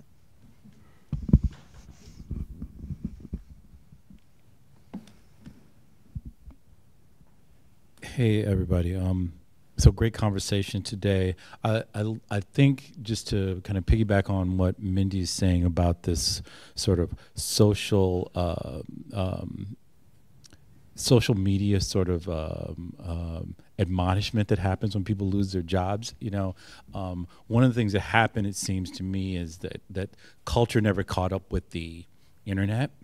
You know, there was a uh, moment at least you know, and I guess everybody will uh, will say from uh, who's of a certain age will remember well oh you didn't say those things in public or whatnot. And and the age of the internet sort of like sort of opened the floodgates to just about anything. You know you google search you are like a click away from anything you want to see but the social, the the, the mores and values, and, and I'm not saying value in a like you should have good values. I'm not saying that kind of because that's a judgmental kind of space, and I don't want to put that out there. But just just sort of the sense of guardrails and how we deal with one another um, didn't seem to catch up to that. It didn't seem it's like so so much is allowed now speech wise if you listen to popular music or whatnot. Um, um, because I'm old enough to remember where some stuff you would hear today would be stuff that only the grown-ups would listen to after the kids went to bed. Um, but that's now that's kind of like typical pop music, you know.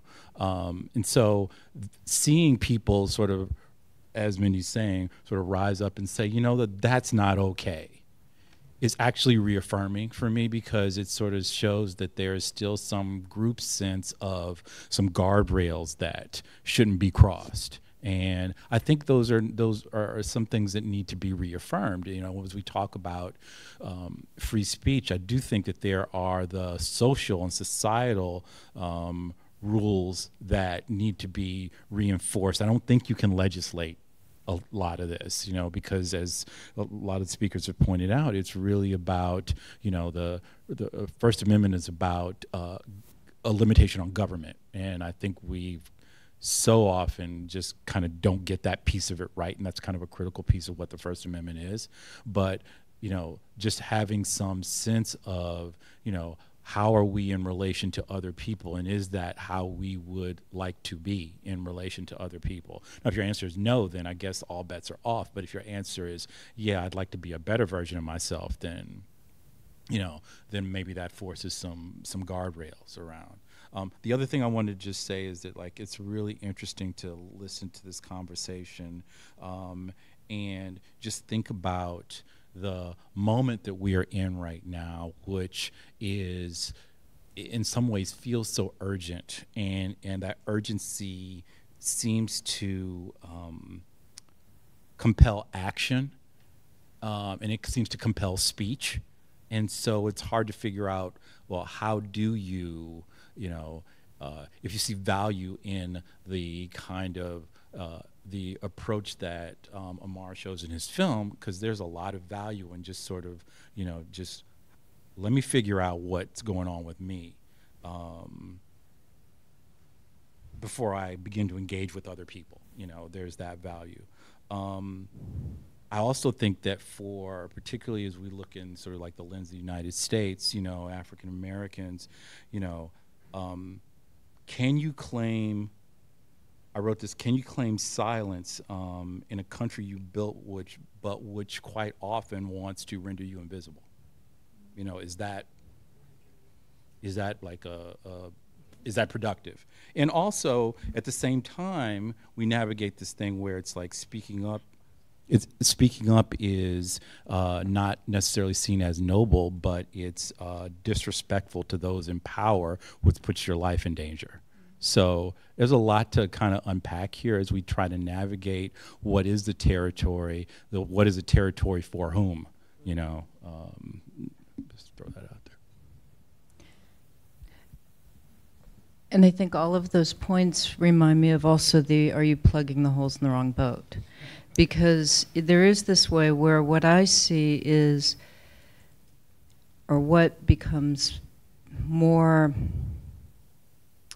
profound in a sense, even if I can say that, is that individual moment of that sort of jouissance that happens or that pleasure of calling out, shutting down, that the piling on pleasure, the part where the same video is posted over and over and over again. And if you don't post it, what's the matter with you? And if you didn't sign the petition, why didn't you?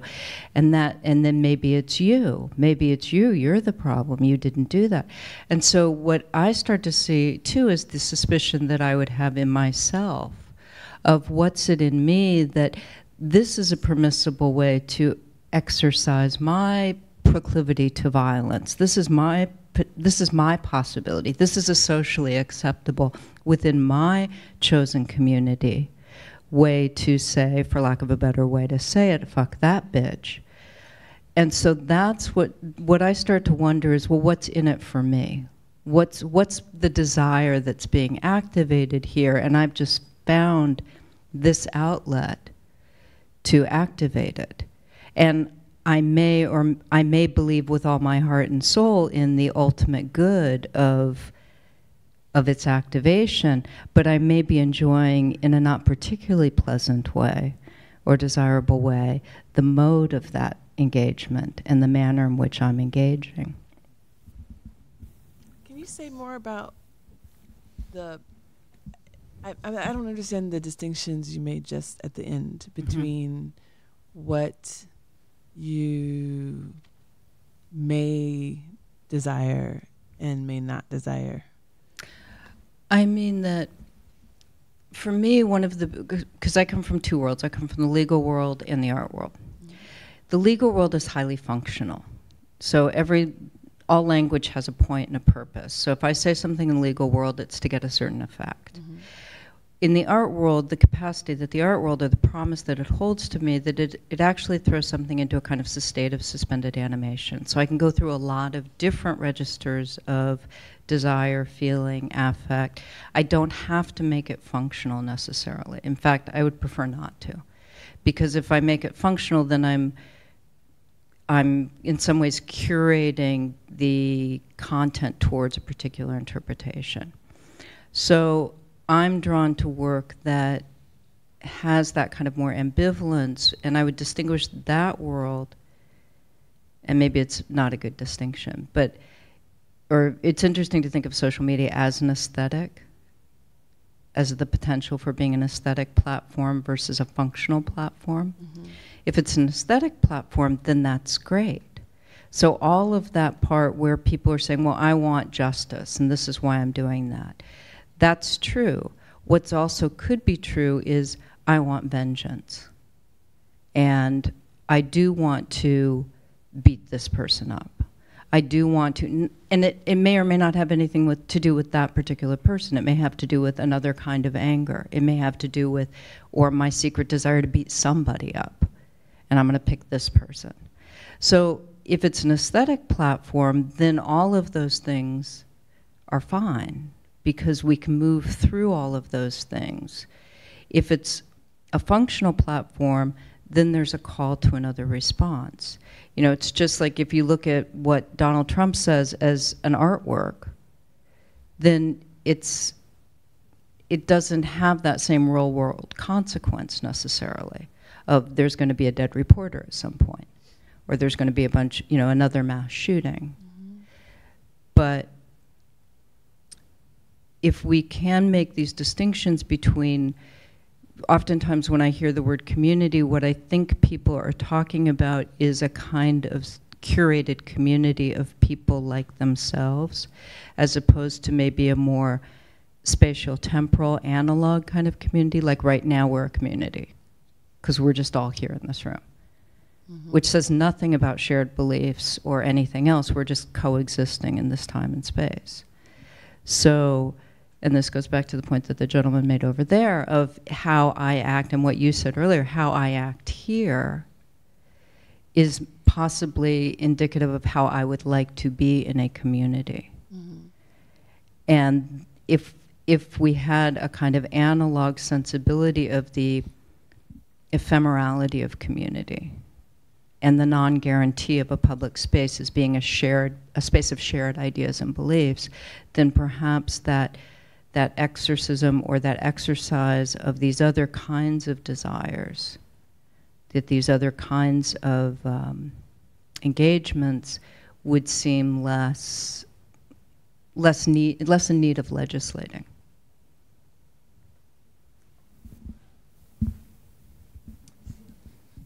Yeah, I guess um, Christopher uh, here from Union Docs, and I, guess I'd like to pick up a little bit on this question of creating spaces. Um, also, that came up earlier from Laura's comment, um, uh, and you know, in thinking about how uh, these questions of are impacting Union Doc's work and the sort of space of documentary art out, um, that is there uh, I have to say, like in some ways, not very much because um, you know uh, the moments in which documentary recently have sort of prompted some kind of uh, response of, of censorship or some question around um, uh, around uh, freedom of speech has, have been fairly rare. I can think of a few instances in the last few years. Conversely, I was just at a, festival in Lisbon where um, there were uh, a major conflict with the embassy uh, uh, in Turkey over the use of the word genocide, where there was uh, major protests from U- um, Ukrainian activists around the screenings of films. And I'm like, what are we doing wrong that we can't sort of incite this? And it's not for lack of trying, because you know, we two two nights ago we showed a uh, three nights ago we showed a film uh, that was suppressed for many many years, and I think one of the most insurgent sort of pieces of cinema I've seen recently came from some alumni of our program and some fellows there. Um, so it's it's kind of not for lack of trying, but I think it. Uh, what what what is offered to us maybe in this space of uh, or in this uh, in in the idea of creating space through culture and through documentary um, is something uh, a little different, and I think it speaks to some of your comments just there. Um, for us, we already had this interested in programming work uh, towards the discussion and towards the commentary that the people in the room would have. And I actually think within the um, cultural art space, there's there's sometimes a lot of disdain for the audience actually speaking back, um, and we have instead many experts in the room to speak towards these conversations versus um, uh, maybe people who are uh, less involved in these discourses, but perhaps have different uh, uh, territories that they might take us into. And um, I think that, yeah, that kind of, uh, you know, concern about the cringeworthiness of conflict within a, in a cultural audience, I think, is, is a form of sort of um, uh, control of speech that happens pretty regularly. Um, and I don't think it's something that's happening in this room necessarily, uh, and and certainly the institutions that are involved in this kind of this program are not like that. But um, but having kind of a small space where conversations can have be happen actively, where they can be unpredictable, where they can where there can be tough questions asked. Um, you know, our, we have a space in Williamsburg, and you might uh, think that we are would be would would sort of attract an echo chamber uh, of consensus, but surprisingly, that's not the case. Um, there's often uh, there's often conflict, and uh, though those conflicts rarely sort of move to this the level of uh, you know freedom of speech issue or creating a lack of safety for the participants in the conversation, I do. Um, there have been some conversation, many conversations that are sort of thinking about uh, that create a kind of conflict that might make cultural programmers really uh, frightened.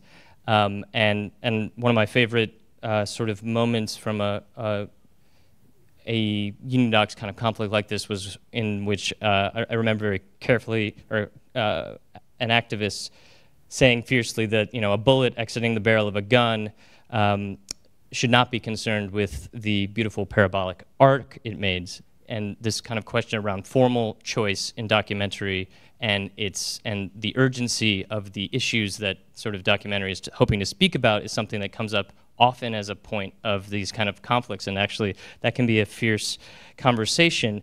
Um, last night, I don't think we got to, we were thinking about militant cinema by any means, um, but I did want to kind of just return to this question of darkness and think about the film um, and narrative, because in so many ways this, uh, there was a lot of conversation, and just to bring present a little bit of the conversation that was there at Union Docs last night, there was uh, a lot of question about what what the sort of narrative of the piece was and what the sort of function of the protagonists, the setting, the scene, the um, secondary characters, what their meaning and value was in terms of the um, uh, the, the, piece of work.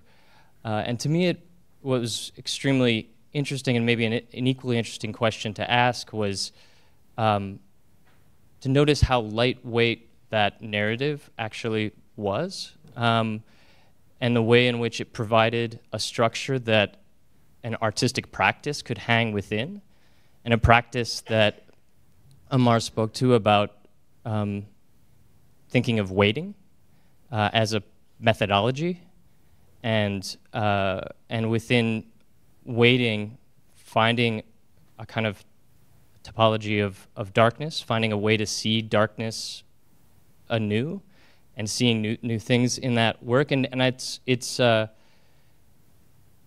it's not just about like creating a, a series of sublime images that take us somewhere. It really was something more of a, of a struggle through that. And I guess, and it offers us not something like that we can necessarily, I think, know or understand, but, um, or, or really have too, too many things to say about, maybe specifically, but it does somehow offer us something that I think, in terms of practice and methodology, one might emulate and one might think about um, uh, bringing into their way of seeing the world. Um, and, uh, and in that, I think it's, it's, it's, it's an exercise that, um, that has to happen collectively and has to happen with, with other people in the room, and that also, uh, you know, the ways in which the interpretation of it kind of evades the interpretation of narrative. So, just a few thoughts to bring uh, uh, the the film back. Okay. All right. So, I guess when I think about freedom of speech, it's useful for me to separate the idea of both speech and freedom to understand it more. Because uh, speech, in my opinion, speech on its own is kind of empty, can mean anything. What is more important about it is the freedom aspect, whereas if you think about the struggles for freedom of speech, specifically in the context of the United States, it was always about a struggle to create room for a goal, right? A goal that wanted to be achieved. So you would struggle for freedom of speech to advocate for a change that you'd like to see or to struggle against something which you believe was wrong. The idea was still about the freedom aspect more. It wasn't about the speech of what somebody is saying. So I think when we think about freedom, there's a reason why the conversation turned to the idea of violence because now we're thinking about when it's acceptable to use force and when it's not to defend the idea of freedom. And freedom on its own can also be sort of an empty term, but I think it's useful to think of freedom as the idea that anyone in a given society or space has the right to pursue their life to the fullest extent possible, and everyone should have that freedom and you should not interfere with other people's freedom to do so, so we can all struggle to be free together. Which is why things like, you know, racism, institutionalized authority, authoritarianism on its own, sexual abuse, rape, all those things, we should have contempt for them because they interfere with other people's abilities to live their own lives, to be comfortable who, who they are, to be free from harm and um, sort of like from the initiation of force. So it's it's it's useful to think of the struggle as a struggle for freedom and how do we use speech to either achieve freedom or how is speech used to negate freedom in that aspect, in my opinion. That's pretty much just what I want to add to the conversation. Thank you very much. Um, we really could, and, you know, in some ways should go on much longer, but there are more seminars, and I just want to urge you to please stay with us and return. Come to the Vera List Center website and get updated on the next programs. The first one coming up in December on December 3rd. Before we close, though, it was really lovely to hear from some of our partner organizations, Weeksville and um, Union Docs and Article 19. We haven't heard from the New York Peace Institute yet, and Anna Kay, I think, offered to say a few words um, reflecting on the conversation. Yes, sure. Hi, I'm Anna from New York Peace Institute. Um, and uh, well, I have to say first, when when Carin had reached out to me, um, we were a little hesitant, and we started to think, well, we know New York Peace Institute is connected to this. We help people have difficult conversations. We know in a very kind of interpersonal, individual level, uh, we're connected to this conversation. But it can uh, be a little difficult to take uh, our perspective out to a much higher level in a lot of the theoretical conversations that have um, happened here. So, what I'll, I'll, do instead is just talk a little bit about what New York Peace Institute does, how we help people have those conversations, and um, a little bit about uh, the seminar that we're uh, thinking of in June. Um, so, just to say, you know, as we help people have difficult conversations, we our work is in uh, conflict resolution services, primarily mediation, and um, we serve Manhattan and Brooklyn, um, and we also provide training. So, for many of our clients, we're an alternative to the court system and uh, also to police involvement. Our services are confidential and there's no public record of them whatsoever. Um, and uh, similar to some of what Christopher said, conflict is often, you know, something that's to be avoided, um, to be scared of, and kind of the unknown, and connecting to Amar's film, you know, uh, a darkness. Um, for us, we really see conflict as possibility and we really trust in um, in our clients and their self determination as individuals to uh, determine their own solutions to whatever their conflict is. Um, and so, a bit about the process uh, by design and by profession, um, as mediators, we remain neutral and we help facilitate a conversation. The conversation normally starts out quite angry and a lot of emotion, um, very often offensive language, um, covertly or overtly. Um, and we don't shy away from that kind of the ugliness or the bitterness. Um, one of our mottos is that we go towards the heat. And so we kind of believe that some of, some of that uh, difficulty, the bitterness or ugliness or however it's communicated, has to get out initially. And then we provide a process where uh, both parties can feel heard and not always, but hopefully come together and determine their own solutions. Um, so, with a little bit of that context, uh, what we're thinking of for June is to look at these kind of everyday manifestations or real world manifestations, some of which have been, you know, touched on tonight of, uh, you know, where the inherent conflict of freedom of speech and and how that manifests in, in an interpersonal level, uh, you know, as a journalism journalist or as you know the person who has to monitor and facilitate a comment section on you know, New York Times or, or who knows, and, you know, and social media as well. Um, so we're on the individual level, it's like a microcosm of so many of these conversations that are happening, um, and we are looking forward to being part of this this series and um, in June our session. Thank you very much.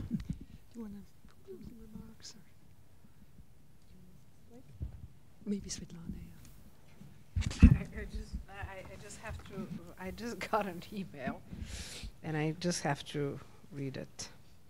Um, and it's uh, apparently a new journal of controversial ideas launching next year. And uh, an international group of university researchers is planning a new journal which will allow articles on sensitive debates to be written under pseudonyms. They feel free intellectual discussion on tough issues is being hampered by a culture of fear and self censorship. Per-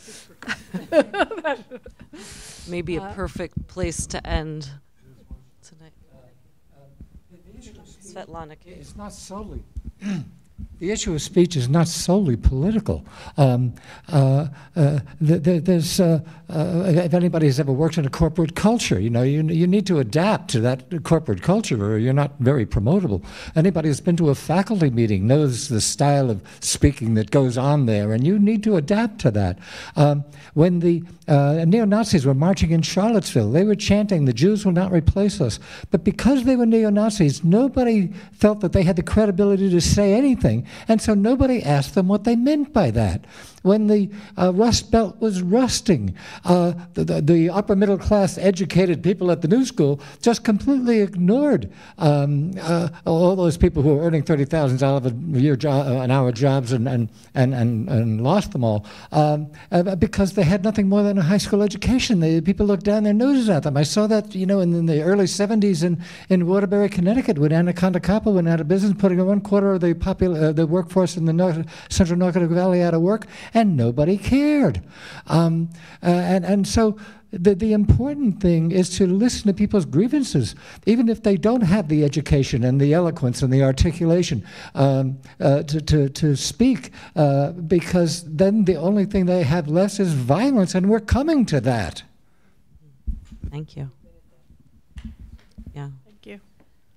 And I think um, there's a lot of struggling we need to do together to make our way through these topics, which we will do over the coming months. Um, so please check back in on the Vera List website to, um, and, and please mark your calendars for December 3rd. It's going to really be a spectacular one around feminist manifestos. It's a good one. Oh, and um, thank you. I, I, I thought that was a great discussion where we didn't get anywhere. That's a good thing. We just, you know, I, I think it's very hard to do that sometimes because you kind of debate, you get to a conclusion, and we're we're really kind of, you know, dwelling in it. And um, and thank you all for that. Thank you.